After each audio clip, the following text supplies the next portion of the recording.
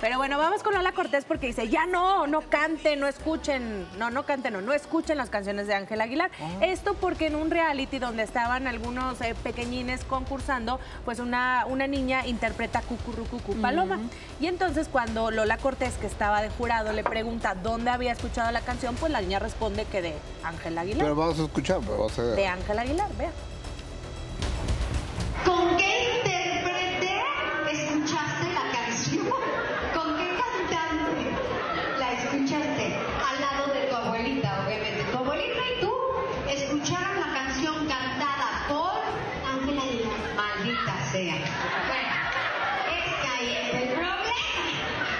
Ahí está el problema.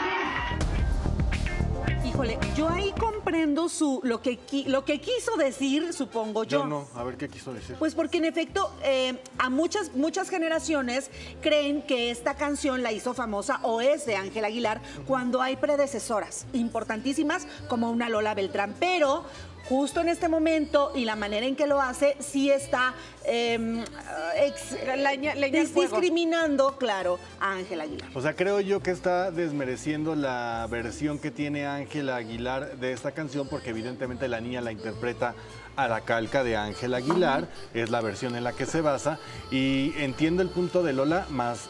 No, no, ni lo entiendo, la verdad. Porque, a ver, la música se va refrescando y cómo le pides a una niña de esa edad que le pongas a una A la Lola tarea Beltrán? Curi. A la tarea Curi. O sea, la abuelita, a ver si se acuerda la tarea Curi. Cuando al contrario, hay que decir, oye, gracias a Ángel Aguilar que sigue este tipo de música permeando Para de generación en generación. Y aparte, Ángela lo canta espectacular. hermoso. Digo, Lo Lola es experta y hace muy bien el reality, sabe ser jurado y es muy ácida, pero justo como que se incita al público a que llegue la burla un tanto al tema Sí hubo ahorita jiribilla. de lo que está sucediendo con Hubo Ángela, jiribilla. ¿no? Y la verdad, yo si hubiera sido la abuelita de la niña, sí le hubiera mostrado a Lola Beltrán. Pues tu, tus... Tu bagaje de, de sí, tu, emociones. tu- tu vivencia lo ver. llevas a la canción.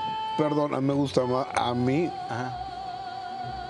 Aunque se enojen, me gusta más con Ángela Aguilar. No, es que es cuestión de gustos, cuestión de generaciones, cuestión de popularidad, vigencia actual, ¿no? O Ahí sea, la tenemos. A ver, con Ángela.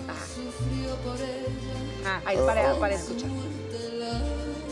Yo lo he escuchado con las dos y a mí me gusta más con Ángela. Y yo recuerdo que había gente que decía, bueno, esa- en su momento re- re- en Estados Unidos reconocían mucho esa canción en voz de Jenny Rivera. Es Bonita, si no la Yerimoa. y con su respeto. O- o- oye, yo, yo te quiero decir una cosa. Yo repito, para mí, para Gustavo Adolfo Infante, para mí me gusta más el de Ángela Aguilar que el de Lola Beltrán. Bueno, a mí sin duda yo sí reconozco a la señora Lola Beltrán. No quiere decir que no me guste Ángela. Sí, híjole, a mí también se me dificulta elegir, pero creo que para que conecte con la niña es la Ángela Aguilar. claro. Ajá. Y a mí, por la sutileza, Ángel Aguilar. O sea, porque creo que es otro tipo de interpretación y es válido, no se desmerece a la original o, o a, o a Lola Beltrán. Pues, doña pero Lola. Me gusta Refresca. mucho la versión de Ángel Aguilar y si me van a escoger las dos, hashtag somos chavos, pues Ángela. Ay, sí, no, que tú eres de Lola, que modo. Tariacuri, que la apretadita.